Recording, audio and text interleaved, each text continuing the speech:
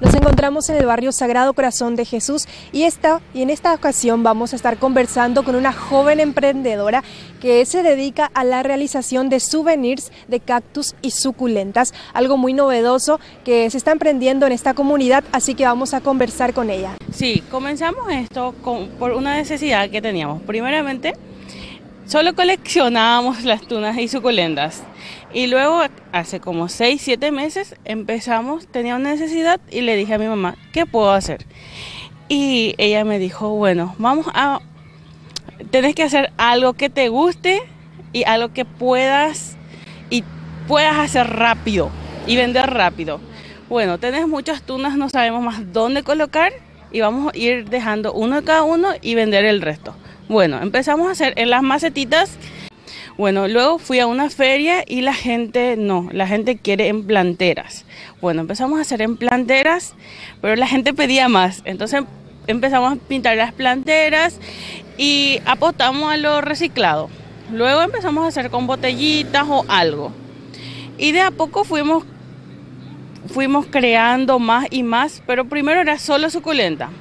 Y luego apostamos a las tunitas que ahora llegamos a una producción de 90% son producción propia y el resto, el 10% compramos o cambiamos con otra gente que va emprendiendo y que quiere tener variedad. Ahora estamos apostando a los reciclados porque tenemos mucho y vamos a ver qué, o sea, vimos qué podemos hacer de ellos y empezamos a usar las planteritas de, o sea, los vasitos de isopores o vasitos de café.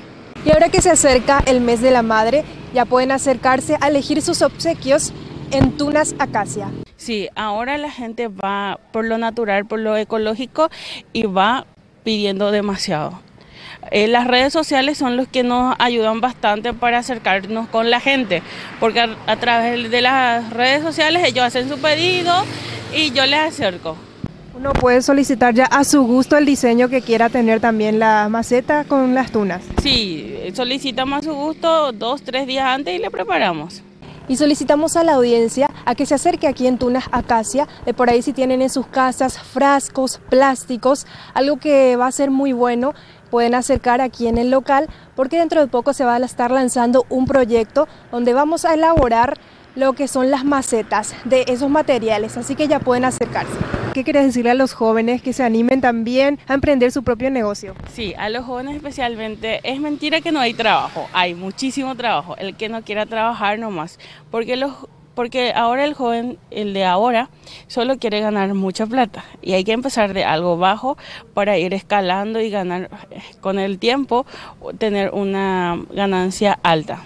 ¿Cómo surge el nombre de Tunas Acacia?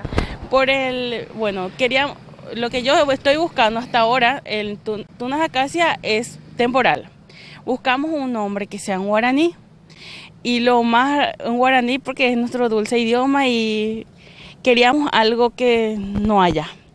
Y acacia es una planta que solo tiene una flor una vez al año, como las tunas, pero no es una variedad de tunas. Y entonces, para mientras tanto, estamos utilizando ese nombre. Pero dentro de unos meses vamos a lanzar una promoción que la gente, la los clientes eh, elijan el nombre. Excelente. Entonces también invitamos a la gente que se sume. Sabemos que tenés tu página donde vas publicando también las fotos, todos los modelos que, estás teniendo. Sí, sí. Su nombre es eh, Instagram Tunas Acacia y también en el Facebook. Así que les esperamos aquí en el barrio Sagrado Corazón de Jesús, a pasitos del Club Sport Guarán. Aquí en Tunas Acacia van a estar encontrando los mejores obsequios que son de tunas y suculentas. Y así cerramos un bloque más de Metamorfosis Cabañas, agradeciendo como siempre a nuestros auspiciantes. Muchas gracias a Rectificaciones Figueredo. También agradecemos a Vivero El Mango. Muchas gracias al concejal Emilio Ortega por el apoyo de siempre. También agradecemos a Vivero de Plantas Jardín Erimar. Muchas gracias Arcelia Coafer por el maquillaje y peinado de siempre. Nos vemos el próximo sábado con muchas más informaciones y todo lo que va aconteciendo aquí en el Jardín de las Flores.